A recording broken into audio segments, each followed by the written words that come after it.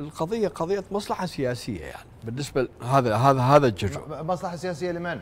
للحزب الديمقراطي الكردستاني الحزب الديمقراطي الكردستاني؟ نعم آه ليش؟ شنو مصلحة الحزب الديمقراطي الكردستاني؟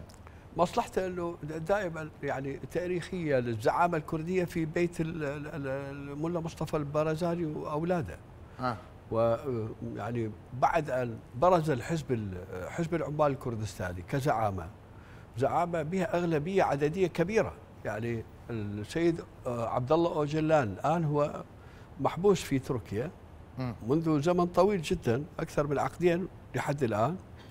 والقرار بيد هذا الرجل في كثير من الأمور. يعني المحادثات اللي أشار لها الضيف من تركيا كانت تدار في سجن عبد الله اوجلان وعبد الله اوجلان مؤثر وهو يمتلك الغالبية الكردية الزعامة الكردية يمتلكها على الأرض فعلا يعني. لهذا المنافسة بين الطرفين في قضية الزعامة على الكرد يعني جزء منها هذا الموضوع.